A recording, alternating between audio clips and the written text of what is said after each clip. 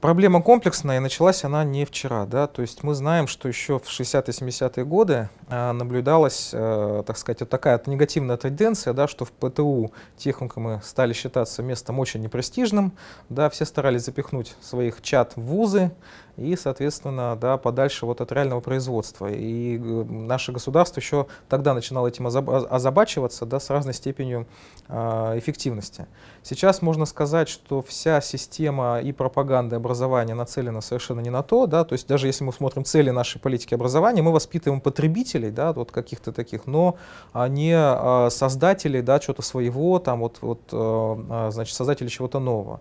А мне кажется, что, конечно, тут нужен целый комплекс а, вопросов, проблем, да, что, а, конечно, наверное, невозможно возродить а, те уроки труда, да это, наверное, неправильно, да, чтобы дети на станках там 40-х годов вытачивали детали, вот, девочки там шили, значит, значит, нитками, иголками, да, или пекли тортики, но это все можно сделать красиво, да, вот, как сказать, клево, да, молодежным языком в режиме 21 века. Эти процессы местами у нас набирают обороты, но это все на, носит такой очень локальный характер и не поддерживается не поддерживается государственной властью. А, что имеется в виду? Да? То есть есть мастер-классы, можно, можно а, проводить, нужно популяризировать создание мастер-классов, там, тех же самых кузнечного дела, да, там, на, с помощью применения современных там, интернет-технологий, слава богу, это уже тоже все это возможно, и 3D-проектирование, и значит, уже 3D-печать не за горами. Это все можно сделать очень доступно, интересно, увлекательно для школьников, даже, может быть, не самого старшего возраста. проводить э, кружки, проводить э, вот эти вот мастер-классы, популяризировать такие вещи, например, как города детских профессий. В Москве, например, уже три города детских профессий существуют. Это Китбург, Мастерславль и Кидзания.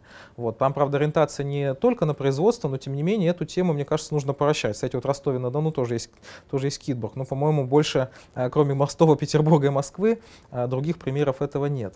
А, нужны чемпионаты рабочих профессий. Мы знаем, что Россия, между прочим, став участвовать, вот, став участником этого движения, таких вот рабочих олимпиад, да, занимает сейчас там достойные призовые места. Но в этом вообще мало кто знает. Вот, это ограничивается небольшим числом предприятий. А, нужны, например, индустриальный туризм. Кстати, он на Западе тоже пошел, поскольку западные страны проходили тот же самый путь. Они действительно столкнулись с оттоком а, молодежи, квалифицированных людей, талантливых людей из промышленности и думали, что с этим делать. А, и пошла вот тема, например, индустриального туризма. И здесь мы решаем на самом деле несколько задач сразу. Это и повышение спроса на продукцию, если речь особенно идет о товарах народного потребления, да, и популяризация на производстве. Но у нас эта тема развивается а, тоже очень выборочно. Э, многие предприятия боятся почему-то пускать, там, начинают, прикрываясь какими-то режимными вещами, не понимая, вот, так сказать, перспективности этой затеи. Но мне кажется, что если вот придать этому какое-то некое такое государственное общественное звучание, да, что это тоже могло бы стать таким серьезным движущим фактором.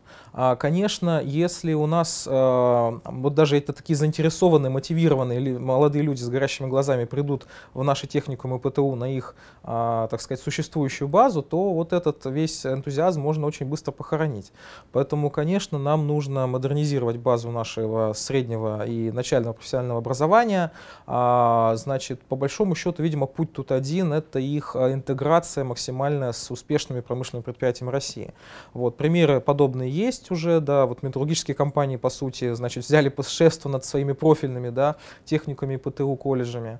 А, возможно, то есть тоже нужна вот государственная поддержка в этом направлении, а, чтобы, по сути, а, у нас не оставалось вот этих, чтобы это были не отдельные успешные примеры, да, что это был бы а, скорее, значит, правило, чем исключение, что техникум адаптированы к нуждам производства, работающие непосредственно, значит, непосредственно да, с этим производством, а преподавателями являются лучшие мастера, да, вот это вот, значит, такое наставничество, да, вот, вот а, система а, внедрить, да, наставничество, что, по сути, когда вот мастер, работающий на заводе успешно, он же является преподавателем для, а, для молодых ребят.